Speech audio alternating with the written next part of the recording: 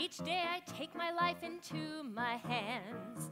I don't complain and I don't make demands.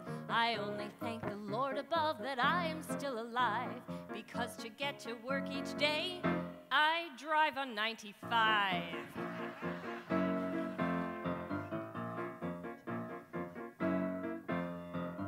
I get behind the wheel, I turn the key. Vroom! I check on my insurance policy. I wear a crazy helmet and I pack a 45. You know I've got to be prepared. I drive on 95. Well, I watch for traffic accidents and stay a lane away from rubbernecks. I look for Sunday drivers and for license plates that say they're from Quebec. Uh, if there's construction, that is no big deal. Or jackknife trailers or an oil spill. Whatever destination I am certain to arrive. I know the ropes and I can cope. I drive on 95. Let me tell you what happened just the other day.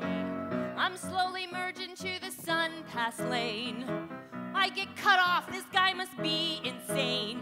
He's doing over 80, weaving to and fro and dive. A notion there'd be trouble soon, right there on 95.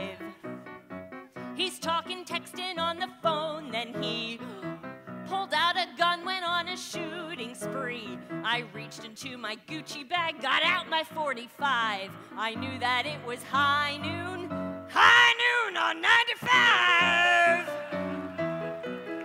Well, I chased him all through Broward and I followed him right to the Golden Glades. Tried to send an email, but he slammed into a Bob's barricade. Boom!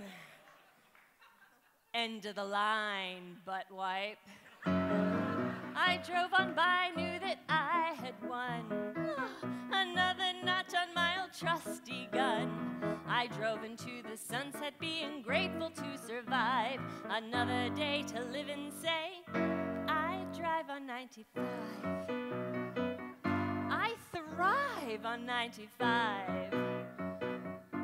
I own 95.